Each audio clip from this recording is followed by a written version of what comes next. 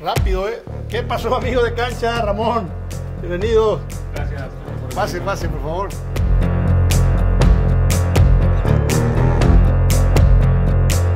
Me parece a mí que para el momento eh, yo creo que es un- una buena elección. Una buena elección porque tiene carácter, tiene personalidad, eh, tiene conocimiento del fútbol mexicano, tiene conocimiento de lo que es Chivas. Eh, yo creo que es una buena opción y la verdad que le deseo lo mejor que le, que le pueda ir bien. Es un muy buen plantel, buenos jugadores, que tiene que creer en su capacidad y tiene que convencerse de que son buenos. Chivas necesita un proceso mucho más largo con cualquier entrenador que llegue. Tiene un eh, necesita un, un- proyecto mucho más largo, mucho más serio, mucho más responsable para que se pueda armar un, muy buen equipo. Porque no es fácil, no, no va a ser nada fácil para Tomás tampoco. Con el entrenador que llegue no va a ser fácil porque tiene, tiene competencia con planteles eh, poderosos en el aspecto de que tiene jugadores que te marcan la diferencia. Eh, la verdad que no, no me dolió. No de dolor, así de decir, me molestó, no, no, para nada. Sí, lógico, me, me hubiese gustado seguir porque, porque el proyecto era eso, ¿no? de, de- de seguir hasta terminar el campeonato. Teníamos 15 puntos todavía en juego. Eh, por lógico, ellos tenían que tomar decisiones como, como jefe, como cabeza de grupos y, y tomaron su, para ellos su mejor decisión. ¿no? Hay gente que me dijo que me odiaba porque, porque que le hacía goles cada partido. Pero eso, son, eso es un proceso de. Eso fue como futbolista, como, como jugador. Cada vez que se cambia un entrenador y, y- y- y llega un equipo nuevo, normalmente tarda un poco para que la gente te pueda eh, reconocer, para que la gente te pueda aceptar, más en la situación que llegamos nosotros. Eh, este equipo fue especial en ese aspecto, ¿no? porque todo el mundo sabe del momento que llegamos.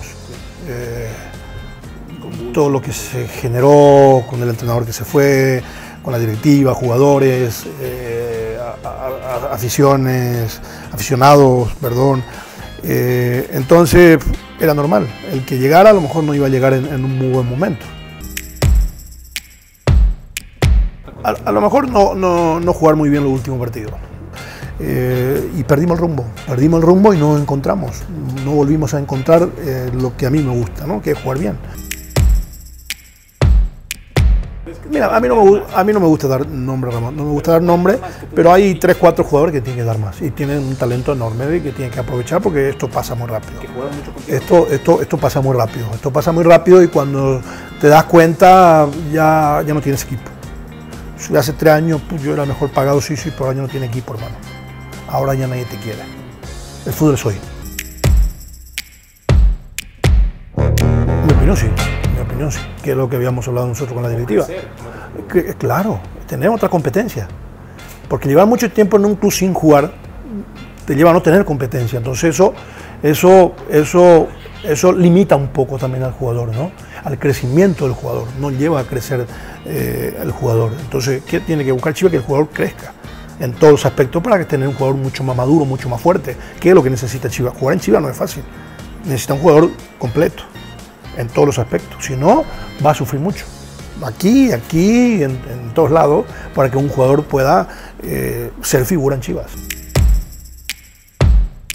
Yo a Molina lo traje y, la verdad que no me equivoqué en el aspecto de, la percepción que tenía yo por, por el jugador. ¿no? Yo siempre lo quise a Molina. Y eso que peleábamos a muerte para, para traerlo, se trajo casi al último. Y, y bueno, es un jugador que, que- que la verdad en ese aspecto me- no me decepcionó porque cumplió lo que yo veía del jugador. ¿no? Para mí se desinfló un poco él también. No es fácil, yo, inclusive yo dije ¿eh? que, que no era fácil, es un muy buen jugador, pero tiene que entender que está en Chivas y que acá la exigencia es, es mu- es muchísimo y, tiene que estar a la altura de las circunstancias, porque si no, después también eh, esto se desinfla y te puede repercutir y muy feo. Se cambió mucha cosa en el club, se cambió mucha cosa en el club de que llegamos nosotros también. ¿eh? O sea, de que el jugador llegue a desayunar, de que el jugador llegue, salga a 2, 3 de la tarde, de que el jugador tiene que ver video, de que el jugador tiene, tiene eh, a- explicar un poco la tecnología, de que el jugador tiene día de que tiene que ir con el psicólogo, eh, se cambió muchas cosas, se armó una estructura muy, muy interesante de lo que el club estaba preocupado en ese momento, porque como que, como que se le fue de las manos también el, equipo. ¿no? Entonces nosotros trabajamos siempre con mucho profesionalismo. He madurado, madurado bastante y, lógicamente esto, esto me va a hacer mucho más fuerte todavía, un mejor entrenador, de haber fracasado aquí en Chivas, porque hay que llamarlo así como, como, como tal, pero estoy seguro y convencido de que salí de Chivas un técnico mucho más maduro, mucho más fuerte y, convencido de, mi capacidad y convencido de que soy un buen entrenador. Gracias, cancha. Nos vemos, señores. Ya te cierro, ¿eh?